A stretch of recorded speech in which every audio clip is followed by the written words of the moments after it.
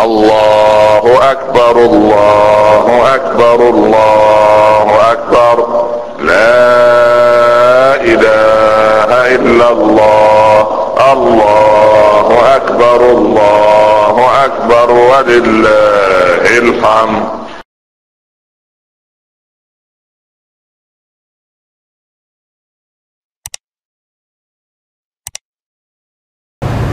احمد الله رب العالمين وصلاة وسلاما على الحبيب المصطفى صلى الله عليه وسلم. ثم أما بعد أحبتي في الله السلام عليكم ورحمة الله تعالى وبركاته.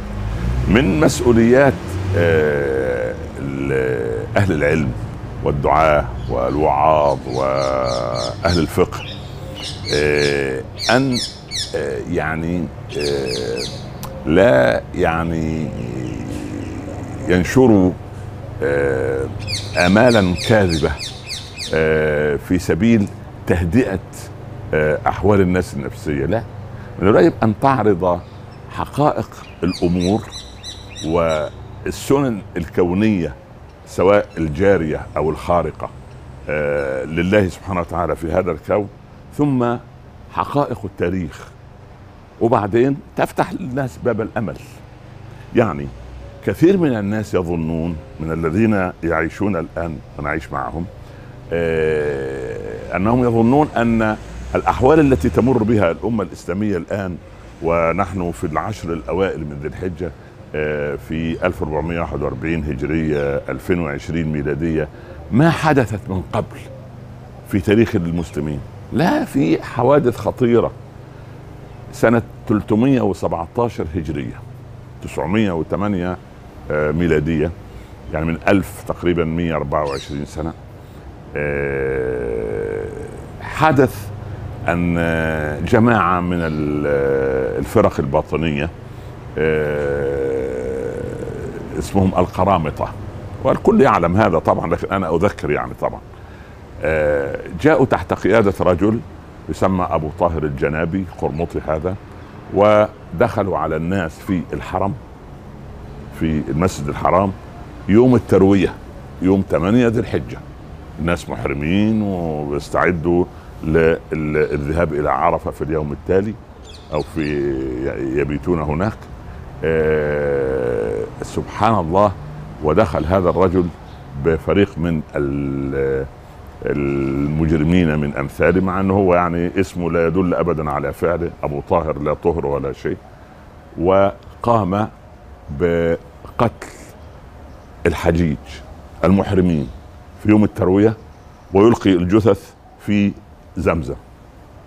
ثم قام باقتلاع الحجر الأسود وأخذه هو ومن معه من المجرمين إلى هجر تقريبا يمكن تبعد أكثر من ألف كيلو متر من آه، من مكة.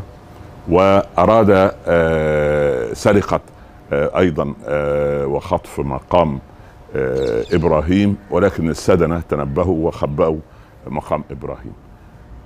وطبعا قتل في هذه الآونة ثلاثين الفا في أنحاء مكة والطائف وبعدين راح دمشق بعد ذلك قتل فيها مقتلة عظيمة. إلى أن 22 سنة أعيد الحجر الأسود إلى الكعبة بفضل الله. حماها الله سبحانه وتعالى. ما الذي أريد أن أقوله؟ أن حلقات التدافع ما بين الحق والباطل وما بين المسلمين وبين أعداء الإسلام من بني جلدتهم ومن غير بني جلدتهم قائمة إلى يوم القيامة الصراع بين الحق والباطل منذ إبليس مع أبينا آدم وأمنا حواء وسوف يظل هذا الصراع. ووقف أبو طاهر هذا أمام الكعبة يقول أين الطير الأبابيل؟ أين الحجارة من سجيل؟ يعني أنا بالله وبالله أنا يخلق الخلق وأفنيهم أنا والسؤال الذي يطرح ولماذا لم تأتي الطير الأبابيل وتأتي تلقى عليه حجارة من سجيل؟ هذا حدث في إرهاصات مولد رسول الله صلى الله عليه وسلم في عام الفيل إيذانا بظهور النبي صلى الله عليه وسلم. أما بعد ذلك المسجد الحرام صار بعد فضل الله وتأمين الله عز وجل له أن يؤمنه المؤمنون والمسلمون الموجودين في على الأرض. أحبتي أبو طاهر الجنابي هذا أو القرمطي وأمثاله هم أناس نشأوا في أسر والأسر المشوهة تنتج لنا هذه هذه العاهات على مر التاريخ. ما فيش طاغية أو مجرم أو أو مجنون الفكر على مر التاريخ إلا هو نتيجة أو نتاج آه، أو ثمرة أسرة مشوهة آه، طفولة مشردة آه، بؤس في التربية خلل في التكوين سوء في القدوة.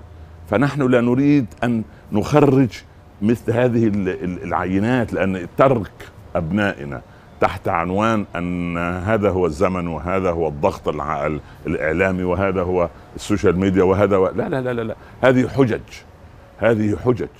الإنسان لا يتعلل سبحان الله بال بال بال بالظروف وبال لا بالعكس وكان محمد إقبال يقول المؤمن الضعيف يتعلل بالقضاء والقدر والمؤمن القوي هو قضاء الله وقدره في الأرض. فأنا أريد أن أقول لا تحزنوا على حال ال ال ال ال الإسلام ولكن احزنوا على حال المسلمين. نحزن على حالنا نحن. لا تخافوا على الإسلام الإسلام محفوظ إلى يوم القيامة. لكن نخاف على حالنا نحن عندما نسأل ماذا قدمتم لدين الله؟ هل قدمنا ولدا صالحا بنتا بارة أسرة نموذجية قدوة فاضلة عقل نابه آه، وقفنا مع الناجح حتى يزداد نجاحا ويعني آه، حاولنا مع الفاشل أن نقومه وأن نصوبه؟ فأنا أريد أن أقول لا تيأسوا لا تيأسوا من روح الله.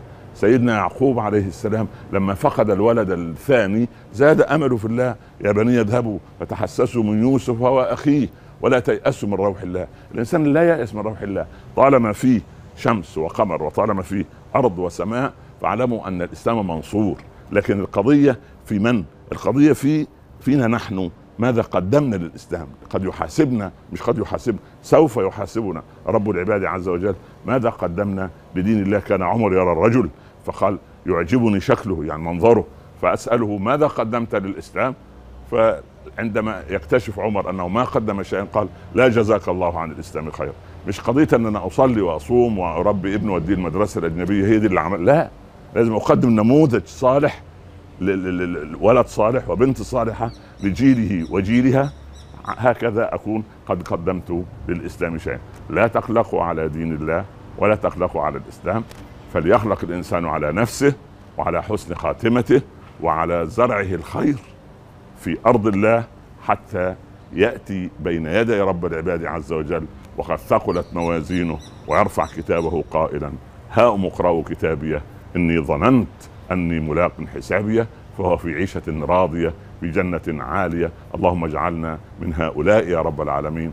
لا تنسونا من صالح دعائكم. والسلام عليكم ورحمة الله تعالى وبركاته.